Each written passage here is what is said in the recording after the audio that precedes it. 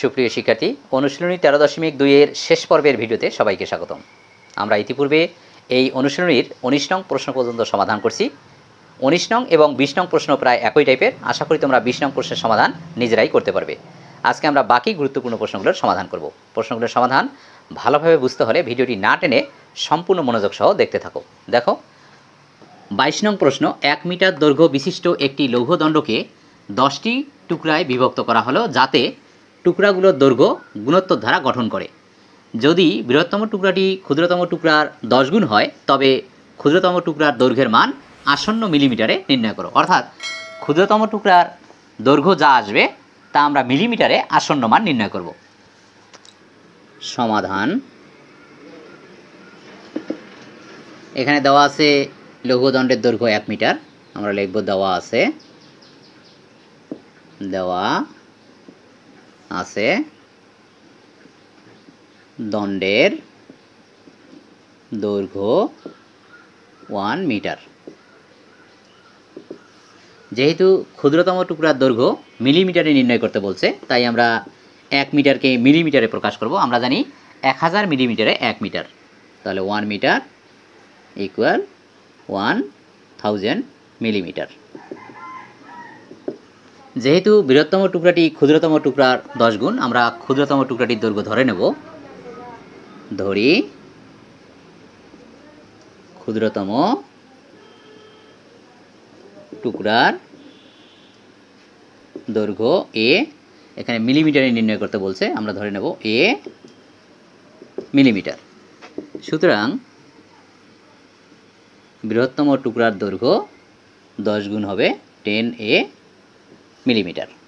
আবার যেহেতু টুকরাগুলোর দৈর্ঘ্য গুণোত্তর ধারা গঠন করে, তাহলে গুণোত্তর ধারাটির প্রথম পদ হবে এ এবং দশম পদ হবে টেন এ। প্রশ্ন মতে, গুণোত্তর ধারাটির প্রথম পদ এ এবং দশম পদ টেনে আমরা এখন ধারাটির সাধারণ অনুপাত আর ধরে নিয়ে যেহেতু দশম পদ জানা আছে, দশম পদ নির্ণয় করব। ধরি গুণোত্তর ধারাটির সাধারণ অনুপাত আর তাহলে সুতরাং গুণোত্তর ধারাটির দশম পদ ইকুয়াল আমরা জানি গুণোত্তর ধারার এন তম পদ a into r to the power n minus one তাহলে দশম পদ হবে a into r to the power ten minus one বা এখানে দশম পদের মানটা আমরা বসিয়ে দেব ten a equal a into r to the power nine বা দেখো উভয় পক্ষে যদি আমরা এ দ্বারা ভাগ করি এ উঠে যাবে। R to the power nine equal পাবো টেন বা আর এর মান আসবে ten to the power one by nine ten to the power one by nine এই মানটি ওয়ান থেকে বড়, আমরা লিখব ইজ গ্রেটার দ্যান ওয়ান এখন আমরা ধারাটির দশটি পদের সমষ্টি নির্ণয় করব।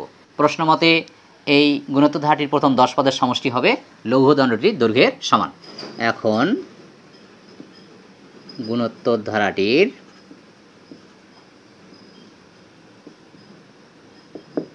প্রথম দশটি পদের সমষ্টি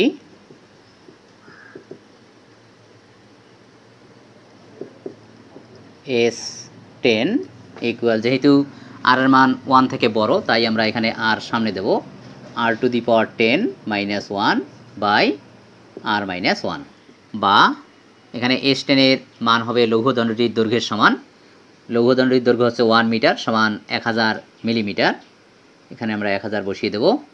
এ ইন্টু আর এর মান বসিয়ে দেবো। আর এর মান হচ্ছে ten to the power one by nine এর পাওয়ার হবে ten minus one by r এর মান ten to the power one by nine minus one বা এক হাজার equal a into ten to the power এখানে হবে ten by nine minus one by ten to the power one by nine minus one বা এখান থেকে আমরা এর মান বের করব। দেখো এর সাথে যে ভগ্নাংশটি আছে, তা যদি আমরা পক্ষান্তর করি, ভাগ হবে। ভাগকে গুণ করে নেব। গুণ করলে হবে এক হাজার into ten to the power one by nine minus one by ten to the power ten by nine minus one. সুতরাং এ ইকুয়াল প্রিয় শিক্ষার্থী, তোমরা এই রাশিটির মান ক্যালকুলেটর ব্যবহার করে বের করে নেবে। ক্যালকুলেটর থেকে এর মান বের হয় twenty four point four seven এটি আসন্ন মান এই জন্য লিখবে প্রায়। যেহেতু আমরা ক্ষুদ্রতম টুকরাটির দৈর্ঘ্য ধরে নিয়েছিলাম এ মিলিমিটার, এর মান বের হয়ে আসছে। সুতরাং নির্ণেয় ক্ষুদ্রতম টুকরার দৈর্ঘ্য চব্বিশ দশমিক সাতচল্লিশ মিলিমিটার প্রায়। আশা করি বুঝতে পারছ। এখন আমরা পরবর্তী প্রশ্নটির সমাধান করব। এবার তেইশ নং প্রশ্ন দেখো। এটি একটি সৃজনশীল প্রশ্ন। উদ্দীপকে দেওয়া আছে, একটি গুণোত্তর ধারার প্রথম পদ এ, সাধারণ অনুপাত আর, ধারাটির চতুর্থ পদ মাইনাস টু এবং নবম পদ এইট রুট টু। নং প্রশ্ন, উপরোক্ত তথ্যগুলোকে দুইটি সমীকরণে প্রকাশ করো। খ, ধারাটির বারোতম পদ নির্ণয় করো এবং গ, ধারাটি নির্ণয় করে প্রথম ষাটটি পদের সমষ্টি নির্ণয় করো। সমাধান। ক, দেওয়া আছে। প্রদত্ত ধারার প্রথম পদ। প্রথম পদ। এ এবং সাধারণ অনুপাত আর। সুতরাং যেহেতু ধারাটির চতুর্থ পদ এবং নবম পদ দেওয়া আছে, আমরা ধারাটির চতুর্থ পদ এবং নবম পদ এ এবং আর এর মাধ্যমে বের করব। সুতরাং গুণোত্তর ধারাটির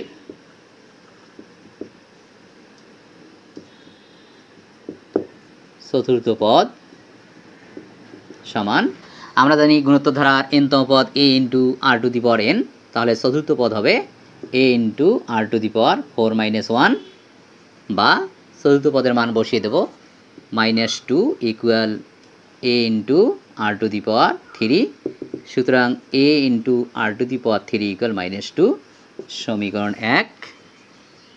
এবং ধারাটির নবম পদ। নবম পদ a into r to the power nine minus one বা নবম পদ দেওয়া আছে eight root two eight root two equal a into r to the power eight সুতরাং a into r to the power eight equal eight root two সমীকরণ দুই। প্রিয় শিক্ষার্থী, তাহলে উদ্দীপকের আলোকে দুইটি সমীকরণ গঠন হলো, এটি হচ্ছে ক নং প্রশ্নের অ্যান্সার। এখন আমরা খ নং প্রশ্নের সমাধান করব। সমাধান খ।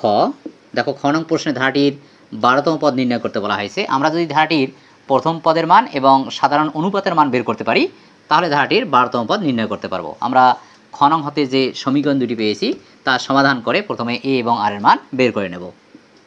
ক নং হতে প্রাপ্ত a r to the power three equal minus two সমীকরণ এক এবং a r to the power eight equal eight root two সমীকরণ দুই। এখন আমরা সমীকরণ দুইকে সমীকরণ এক দ্বারা ভাগ করব। টু ভাগ ওয়ান। দুই নঙ্গের বামপক্ষ হচ্ছে a, r two the power eight. এক নঙ্গের বামপক্ষ হচ্ছে a, r to the power three. Equal দুই নঙ্গের বামপক্ষ এইট রুট টু ভাগ এক নঙ্গের বামপক্ষ হচ্ছে মাইনাস টু। বা এখানে এ কাটা যাবে। আর টু দি পাওয়ার এখানে পাওয়ার বিয়োগ হবে আর টু দি পাওয়ার ফাইভ পাবো। এই করে এখানে যদি আমরা কাটাকাটি করি মাইনাস ফোর রুট টু পাবো। বা r to the power five equal দেখো যেহেতু আর এর পাওয়ার ফাইভ আছে, এখানে এমন একটি সংখ্যার পাওয়ার ফাইভ দিতে হবে, যেন তার মান মাইনাস ফোর রুট টু আসে। এখানে আমরা ফোরকে ভেঙে দুইটি টু পাবো, দুইটি টুকে ভেঙে আমরা চারটি রুট টু পাবো। দেখো চারটি রুট টু আর একটি রুট টু পাঁচটি রুট টু হবে। আমরা রুট টু এর পাওয়ার ফাইভ দিতে পারি। আবার দেখো, যেহেতু রুট টু এর পাওয়ার ফাইভ আসবে, অর্থাৎ বিজোর আসবে, আমরা এখানে মাইনাস যদি দেই, তাহলে আমরা এখান থেকে পাবো মাইনাস ফোর রুট টু বা r equal minus root two প্রিয় শিক্ষার্থী আর এর মান মাইনাস রুট টু বের হয়েছে। এখন আমরা আর এর মান যদি এক নঙ্গে বসিয়ে দেই, তাহলে এর মান বের হয়ে আসবে। আর এর মান এক নং এ বসিয়ে পাই। দেখো আর এর মান যদি এক নঙ্গে বসাই, তাহলে এ ইন্টু আর এর মান হচ্ছে মাইনাস রুট টু পাওয়ার আছে থ্রি ইকুয়াল বা এ ইন্টু এখানে তিনটি মাইনাস রুট টু গুণ করে নিতে হবে। দুইটি মাইনাস রুট টু গুণ করে আমরা টু পাবো, আর একটি মাইনাস রুট টু থাকবে, তার মানে হবে minus two root two a into two minus root two equal minus two বা a equal minus two by minus two root two সুতরাং এ ইকুয়াল টু টু কাটা যাবে ওয়ান বাই রুট টু যেহেতু ধারাটির প্রথম পদ এবং সাধারণ অনুপাতের মান বের হয়ে আসছে, এখন আমরা ধারাটির বারোতম পদ নির্ণয় করতে পারব। এখন ধারাটির বারোতম পদ বারোতম পদ হবে a into r to the power twelve minus one equal এখন এর মান এবং আর এর মান বসিয়ে দেবো। এর মান হচ্ছে one by root two into r এর মান।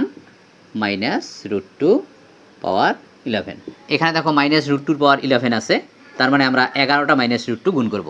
যদি আমরা দশটি মাইনাস রুট টু গুণ করি, তাহলে পাঁচটি টু পাবো, পাঁচটি টু গুণ করে পাবো থার্টি টু আর একটি মাইনাস রুট টু থাকবে, তার মানে মাইনাস রুট টুর পর ইলেভেন দিলে এর মান আসবে minus thirty two root two equal one by root two into minus thirty two root two এখানে রুট টু রুট টু কাটা যাবে। মাইনাস থার্টি টু প্রিয় শিক্ষার্থী, তাহলে এই ধারাটির বারোতম পদ হচ্ছে মাইনাস থার্টি টু আশা করি বুঝতে পারছ? এবার আমরা গণং প্রশ্নটির সমাধান করব। গণং সমাধান। গণং প্রশ্নে ধারাটি নির্ণয় করে প্রথম ষাটটি পদের সমষ্টি নির্ণয় করতে বলা হয়েছে। আমরা ধারাটি তখনই নির্ণয় করতে পারব যখন ধারাটির প্রথম পদের মান এবং সাধারণ অনুপাতের মান জানা থাকবে। আমরা খনং প্রশ্নে ধারাটির প্রথম পদ এবং সাধারণ অনুপাতের মান বের করে নিয়েছি। তাই লিখব খনং হতে প্রাপ্ত প্রদত্ত ধারাটির প্রথম পদ a equal one by root two এবং সাধারণ অনুপাত r equal minus root two এখন আমরা গুণোত্তর ধারাটির সাধারণ আকার লিখে এ এবং আর এর মান বসিয়ে দেব। সুতরাং গুণোত্তর ধারাটি, আমরা জানি গুণোত্তর ধারার সাধারণ আকার a plus a into r plus a into r square plus a into r cube plus dot dot dot equal এখন এর মান বসিয়ে দেবো। এর মান হচ্ছে one by root two plus এর মান one by root two r এর মান মাইনাস রুট টু প্লাস এর মান one by root two r এর মান minus root two square plus এর মান one by root two r এর মান minus root two power cube plus dot dot dot equal one by root two এখানে দেখো রুট টু টু কাটা যাবে মাইনাস ওয়ান থাকবে মাইনাস ওয়ান তারপর এখানে মাইনাস রুট টুর পাওয়ার স্কোয়ার আছে, এখানে একটা রুট টু কাটা যাবে। মাইনাসের পজিটিভ জোর আছে মাইনাস থাকবে না প্লাস রুট টু থাকবে। আর এখানে দেখো মাইনাস টু রুট টু থাকবে এখানে, একটি রুট টু কাটা যাবে, তার মানে এখানে থাকবে minus two plus dot dot dot প্রিয় শিক্ষার্থী, এই হচ্ছে নির্ণয় গুণোত্তর ধারাটি এখন আমরা এই গুণোত্তর ধারাটির ষাটটি পদের সমষ্টি নির্ণয় করব। এখন গুণোত্তর ধারাটির প্রথম সাত পদের সমষ্টি, প্রথম সাত পদের সমষ্টি এস সেভেন ইকুয়াল এখানে যেহেতু সাধারণ অনুপাতের মান মাইনাস রুট টু যা ওয়ান থেকে ছোটো এই জন্য আমরা সূত্রে ওয়ান সামনে রাখব one minus r to the power seven by one minus r equal এখন আমরা এ এবং আর এর মান বসিয়ে দেবো এর মান one by root two one minus r এর মান minus root two power seven by one minus minus root two equal one by root two one minus দেখো এখানে মাইনাস রুট টুর পাওয়ার সেভেন আছে, এখানে আমরা সাতটা মাইনাস রুট টু গুণ করে পাবো মাইনাস এইট রুট টু মাইনাসে মাইনাসে প্লাস হবে eight root two by one plus root two equal one by root two into one plus eight root two ভাগকে গুণ করে দেব।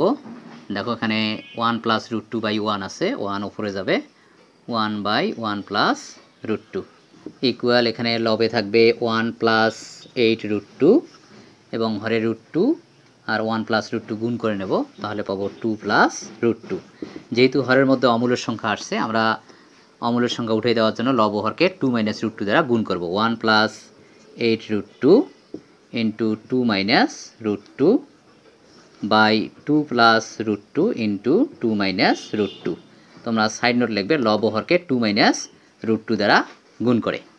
ইকুয়াল দেখো আমরা যদি লবে গুণ করি two plus sixteen root two minus root two দ্বারা যদি গুণ করি মাইনাস রুট টু এখানে রুট টু টু গুণ করে পাবো টু এখানে পাবো সিক্সটিন বাই এখানে দেখো a plus b into a minus b হয়, অর্থাৎ a square minus b square equal এখানে দেখো sixteen root two minus root two fifteen root two পাবো, তারপর সিক্সটিন থেকে যদি আমরা টু বাদ দেই মাইনাস ফোরটিন বাই হরে দেখো কত আছে?